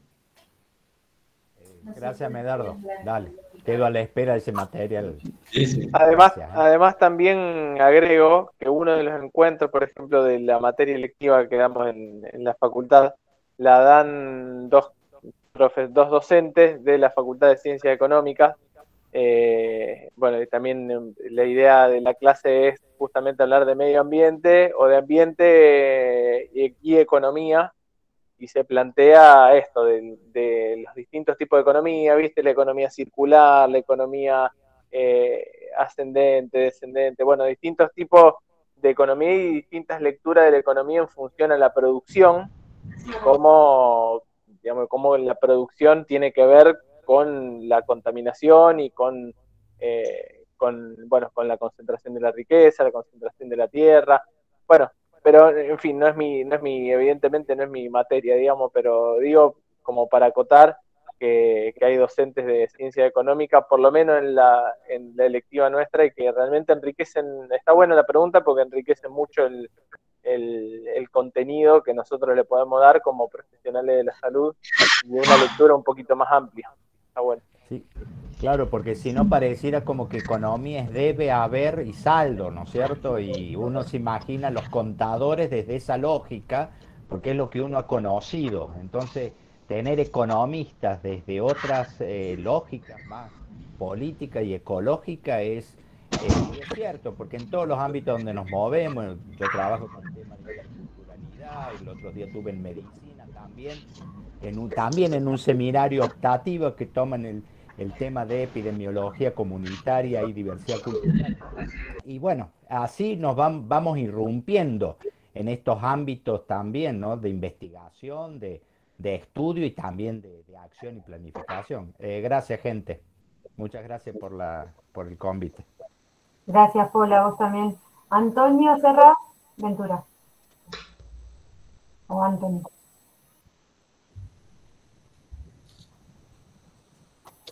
Ah, mientras tanto digo que Daniel dice que leamos a Héctor Segenovich. Claro, Segenovich. Es el compañero. Antonio Serra. Hola, sí. Ah, buenas noches, buenas tardes. ¿Pueden escucharme? Se escucha, se escucha, sí, sí. Bueno, muchas gracias por eh, toda la disertación. Em, yo eh, quería preguntar sobre, con todo esto de los contaminantes que tenemos en, los ambientes, ¿no? tanto agua como aire, tierra o suelo, em, ¿qué investigación eh, de parte como sobre la fitorremediación eh, de estos ambientes puede ayudar a mejorar todo, ¿no? Y eso como de alguna forma las capacitaciones necesarias a los agricultores para poder hacer esa transición de dejar de usar los agroquímicos, ¿no? agrotóxicos y fertilizantes minerales, digamos, fosforados y todo eso, eh, para pasar a, a, a, usar la fitorremediación eh, con todo eso, ¿no?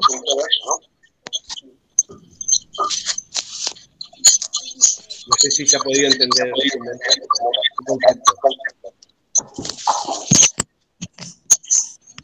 Ahí, ahí Mirta, ahí está. No, que no te escuchamos, Mirta, vos decías algo.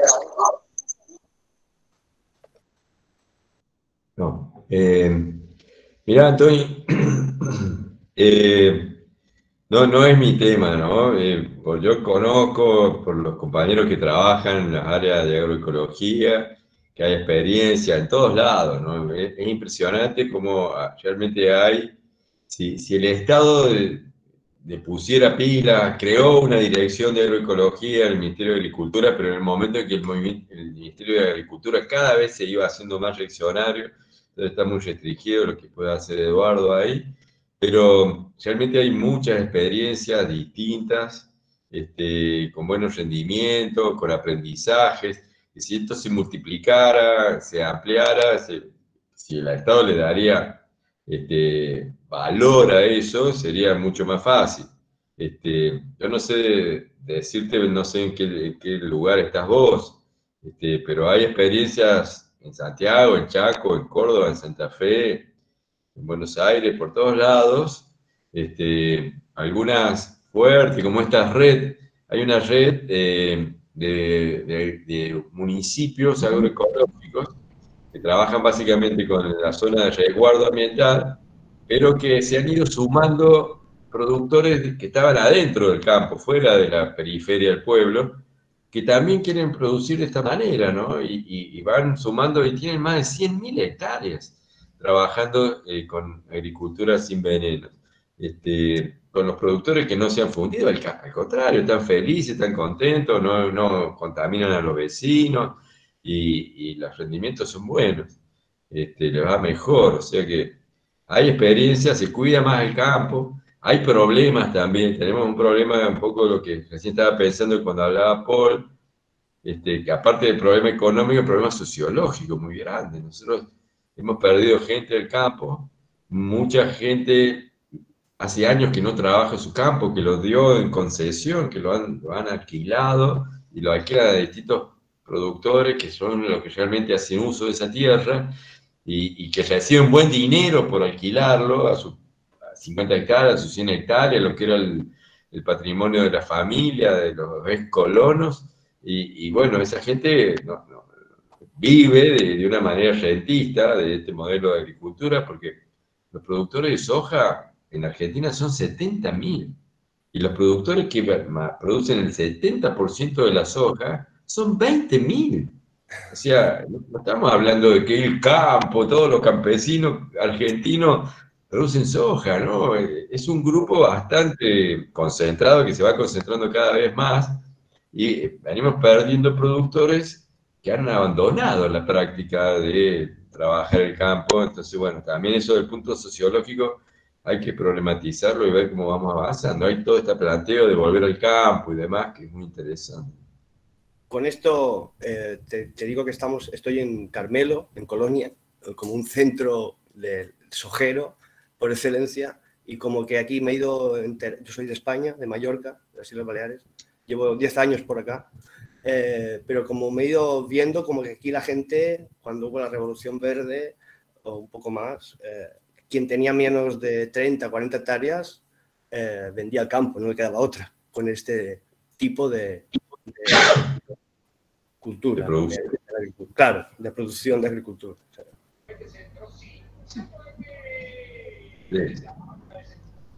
Bueno, gracias.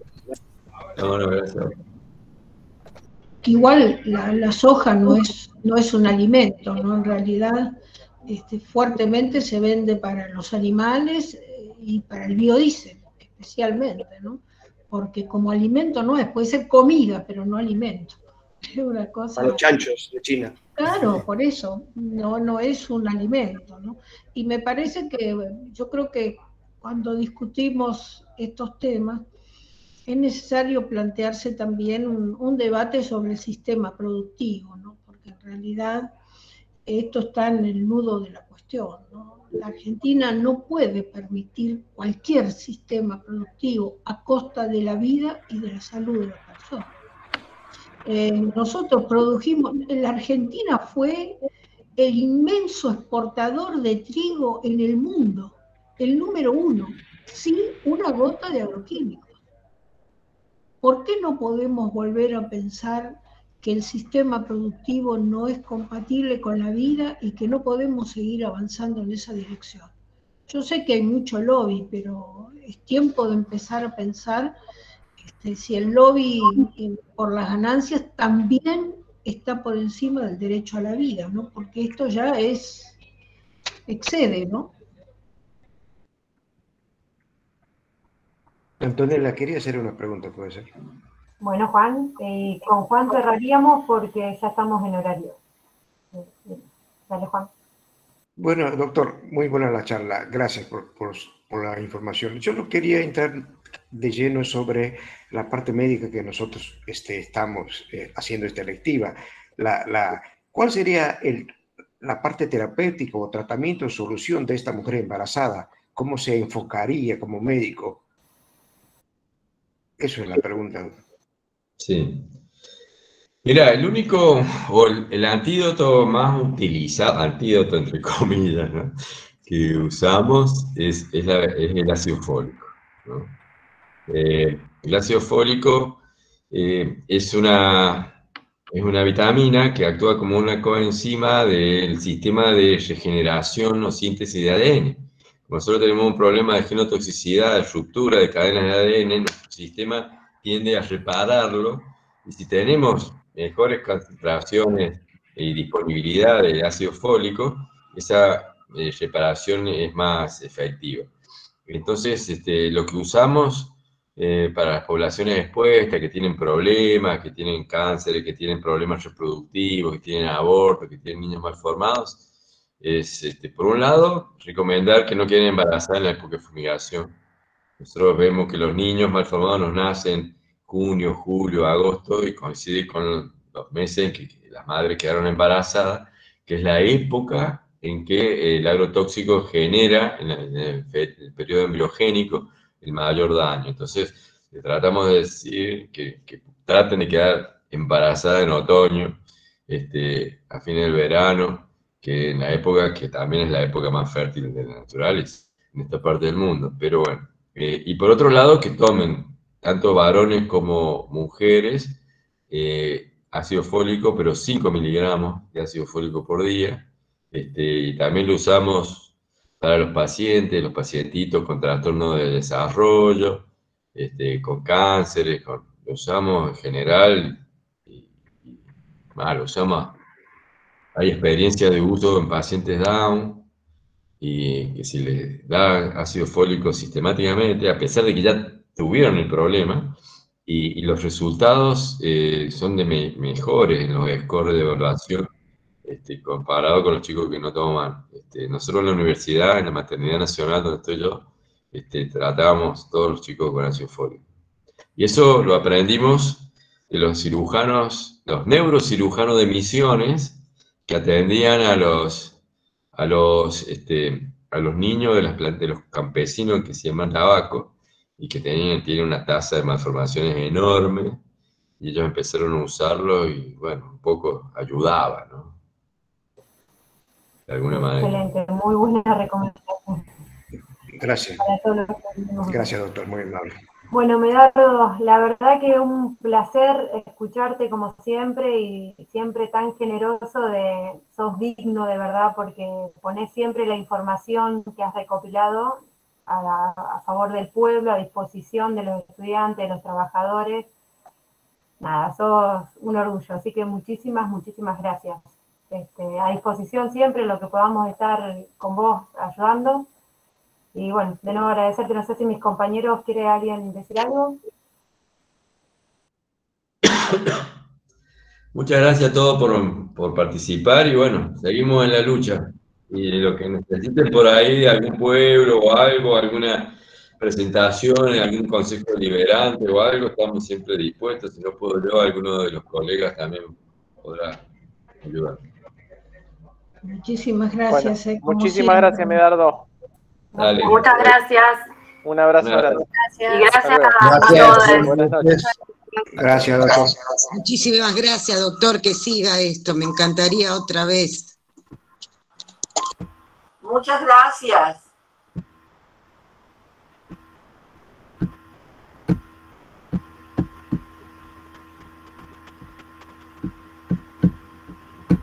Hola, hola.